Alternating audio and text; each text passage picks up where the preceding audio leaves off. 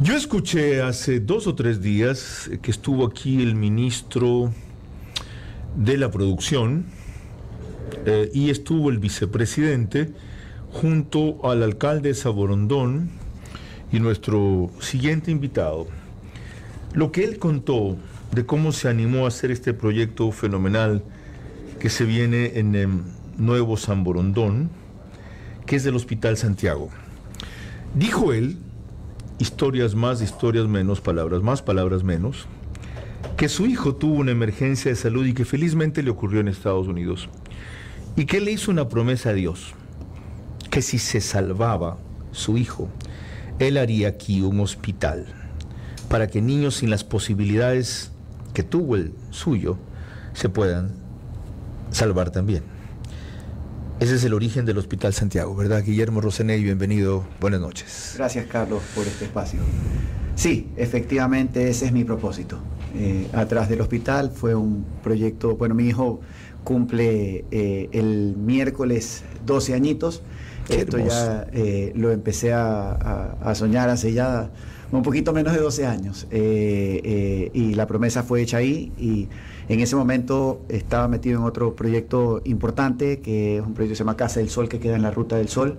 Eh, entonces ya estaba económicamente involucrado ahí, por ende no comencé el proyecto del hospital inmediatamente, lo comencé hace cinco años. Ya, ya había entregado Casa del Sol, entonces, o ya estaba por entregar Casa del Sol, y ya ahí me dediqué al hospital 100%. Eh, y, y nada, comenzamos los estudios y quería lanzarlo en diciembre, me agarró la pandemia, quería lanzarlo en febrero, la pandemia continuó eh, y al fin, el día martes de esta semana pude hacer el lanzamiento de Hospital Santiago y enseñarle a la gente eh, lo, que, lo que es el hospital, cuál es nuestro propósito y que vamos a traer medicina primer mundo por primera vez al Ecuador. Antes completemos la historia de su hijo, hasta donde pueda, si es que no invado su privacidad. Para nada. ¿Qué tuvo él y a qué edad?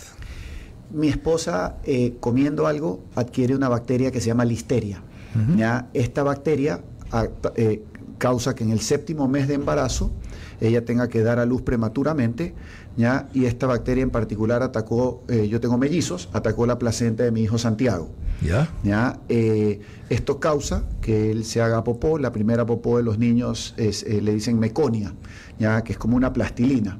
Él aspira esta plastilina y se le pone sobre sus pulmoncitos y le empiezan a dar paros respiratorios. Ya, eh, ¿Estando en el vientre de la madre? Eh, no, ya, ya eh, fuera. Ya fuera. Okay. la cosa es que en ese instante pues, sale mi primer hijo, que es Sebastián, llora, y sale el segundo y no lloraba. ¿ya? y en eso veo que se empiezan a acercar médicos, empiezo que le, empiezan a hacer resucitación. ya voy a entrar en mucho detalle que mi esposa creo que me va a matar, pero en todo caso lo llevan a la sala de cuidados intensivos neonatales del South Miami Hospital, que es un hospital del Baptist. Eh, y en ese instante, a lo que yo entro a esa sala, habían 17 médicos ahí, ya recibiéndolo. Y en ese momento, pues yo como padre primerizo iba con mi camarita filmando todo. Claro. En ese instante. No, está consciente de la gravedad del asunto, claro. Nunca lo, o sea, no, no tenía ni la menor Exactamente. idea. Exactamente. Eh, y habían, sin mentirles, por lo menos habían 17 personas dentro de un cuarto de, no sé, 4 por 4 Ya, eh, para no alargar el cuento largo, mi hijo estuvo 32 días en cuidados intensivos neonatales. Eh, eh, ese día, luego de estar, el, tiempo, el tiempo es difícil descifrarlo porque la verdad que en ese momento pasan muchas cosas, eh, pero me dicen, ¿tienes algún familiar aquí? De esas coincidencias de la vida, mi suegra estaba en ese momento, ella la hicieron pasar, me preguntaron si yo era católico, le dije que sí, me dice, te, recomendamos que llames a un sacerdote para que bautice a tu hijo porque se va a morir. Wow, Dios santo la neonatóloga se hace para atrás, eh, lo bautizan a, Santi, eh, la neonatóloga se hace para atrás y me dijo tres palabras en inglés que nunca me voy a olvidar. Dice, anytime now. Wow. ¿Ya? Y mientras que yo esperaba la línea recta del monitor. El eh, milagro ocurrió. Entre Dios y la medicina, ¿verdad? La ciencia. Yo a Dios que si me lo salvaba, yo le hacía un hospital para que niños que no tienen los recursos para nacer en Estados Unidos se salven. Es de las historias más hermosas que he escuchado. ¿ya? Es, de las eh, acciones más solidarias que he visto. Ahora, hablemos del hospital. Eh, ¿Qué es lo que cuesta 70 millones? ¿Del hospital o la ciudad que van a armar allí? Y yo soy una de las personas más virtuosas del mundo, Carlos. Por, eh, por Dios me salvó a mi hijo. Sí, hombre. ¿Cuántos tiene?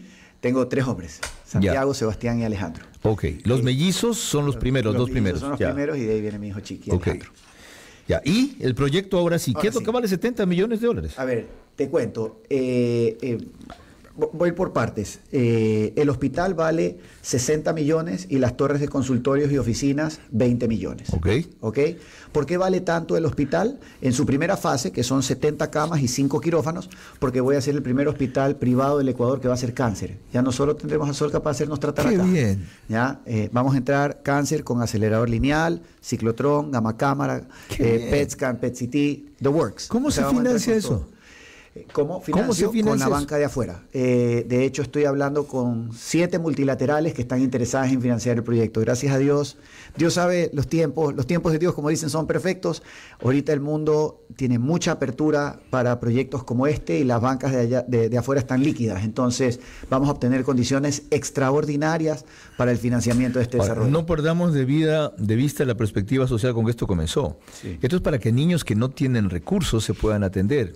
Es decir, que alguien, si demuestra tener necesidad y no tener recursos, puede hacerlo gratis. Y de hecho, eh, si estás atendido por el IES, sí, y por el ministerio, si, si no tienes recursos, entras a través del Ministerio de Salud. Ya. ¿ya? Y nosotros vamos a atender IES y vamos a atender Ministerio de Salud también. Fuera de eso, sí te digo, nosotros tenemos una fundación, eh, nuestra también, que se llama RSA Fundación. De hecho, hemos hecho algunas carreras y algunas obras benéficas. A través de la fundación vamos a canalizar una cirugía todos los días gratis para una persona que lo necesite. Yo quiero saber que Hospital Santiago, los 365 días del año, le cambia la vida a alguien que a no tiene los. 365 personas Todos los días vamos a cambiar Todos la los vida días. a alguien. Y de hecho los doctores que ya han comprado consultorios en el hospital me han regalado sus manos mínimo dos veces al año ya para yo poder cumplir mi promesa y el hospital pone los insumos para la cirugía. Hagamos la promesa completa. Todos los días una cirugía gratis significa un tratamiento completo gratis, no solamente la cirugía que suele ser lo más caro, ¿verdad? Sí. Un tratamiento, bueno, dependiendo también el tipo de tratamiento y si se puede dar acá, ¿no? Eh, pero sí, la idea es esa. Partiendo de eso. La idea es Ok, esa. Esto es parte de Ciudad San Borondón, de un complejo en donde se va a tener toda la mano centros comerciales, universidades, colegios, el hospital, eh, etcétera. Sí, eh, de hecho, esto nace, la idea nace con el hospital y pues los consultorios para que los doctores puedan trabajar en el hospital. Luego de eso dije, bueno, yo quiero cambiar mis oficinas allá, vamos a hacer un edificio de oficinas y empecé a entrevistar médicos. Para este efecto yo empiezo a entrevistar médicos porque los médicos que van a trabajar en Hospital Santiago todos tienen título de afuera. Es un requisito para nosotros que Qué el bien. médico haya estudiado afuera. ¿Por qué? Porque en el momento en que yo me afilio con el Baptist Hospital de Florida, ya eh, eh, y tenemos el licenciamiento de ellos, vamos a trabajar con los protocolos médicos del hospital Baptist eh, de Estados Unidos. Y los médicos de afuera ya vienen practicando medicina en países de primer mundo, entonces se les va a hacer fácil la adaptación a trabajar con protocolos médicos americanos. Luego de que entrevisté los médicos, Carlos, y ahí voy a tratar de ser lo más breve posible, eh, empecé a entender las necesidades que ellos tenían. Y uno de los problemas de los médicos es que atienden en la mañana en el Bernays, en la tarde en la Kennedy, el jueves en el Inter, el otro día en la del tal. Entonces yo dije, ¿y si te construye una urbanización para Qué que fenomenal. trabajes ahí? Me encantaría. Las mamás doctoras me decían, yo quiero almorzar con mis hijos, Guillermo, es mi mayor pasión, es mi mayor anhelo, almorzar. No te preocupes, hago urbanización. Después contrato a Perkins Eastman, que es una firma de Nueva York, para que haga el diseño de Hospital Santiago. Ellos fueron los que hicieron el diseño del nuevo aeropuerto de Yes, Guayaquil. correcto. Repítame el nombre. Perkins Eastman. Exacto, son, son fenomenales. Fenomenales. Yo vi el proyecto Ya. que hicieron para cuando salga el aeropuerto de Guayaquil, que me lo enseñó Jaime Nebot. Sí. Bueno, son, y además sé que son top of the world. entonces, de- ya. es una firma de Nueva York, pues y han diseñado más de 500 centros médicos. De hecho, de hospitales le diseñan al Baptist, a la Mayo, al Sloan Kettering Cancer Center en Nueva York. En fin, una firma con muchísima experiencia, porque nuevamente mi propósito, si yo quiero traer medicina de primer mundo al Ecuador, tengo que verme como un hospital americano. Mi infraestructura tiene que cumplir con Joint Commission, tengo que cumplir con los FGI Guidelines, tengo que cumplir con los Baptist Guidelines. Entonces, dicho esto, cuando ya los contrato a ellos, me dicen nosotros, aparte somos los número uno en centros geriátricos. Te damos todo el know-how para que hagas un centro geriátrico. Bueno, vamos a hacer un centro Ah, geriátrico. ahí podría ir yo en unos 20 años. Eh, perfecto. Ah, ok. Ah, me anoto, fuera de bromas. ¿No? Y yo fuera ¿Ya? de broma te digo que Ya encantado. cuando no me aguanten, 87, ahorita 67, todavía me aguanto. Guillermo, fabulosa idea. Sí, ¿Ya? ¿En dos años estará listo el hospital? Eh, los consultorios y oficinas, último trimestre del 2024, hospital primer trimestre del 2025. Ok, el resto del complejo de la ciudad. Ahí hay para 15 años de desarrollo. Yo espero abrir el colegio y el centro comercial, o sea, supermercado y colegio a la par con el hospital o muy cerca, ¿ya? Y luego la urbanización uno o dos años después de que abre el hospital. Quienes quieran comprar oficinas, consultorios residenciales, residencias allí, terrenos, lo que sea, ¿dónde se dirigen?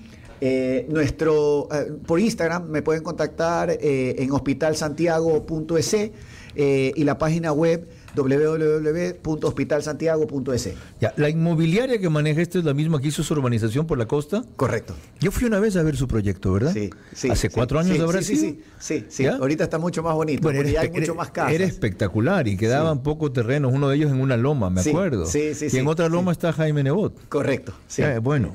¿Y ¿Los Roseney son de Manta? Yes, ¿Verdad? correcto. Mi papá nació en Manta, sí. ¿Que se llama, se llama o se, se llama? llama Francisco. Tengo mi tío Mario también, mi tío Manolo. Mario falleció.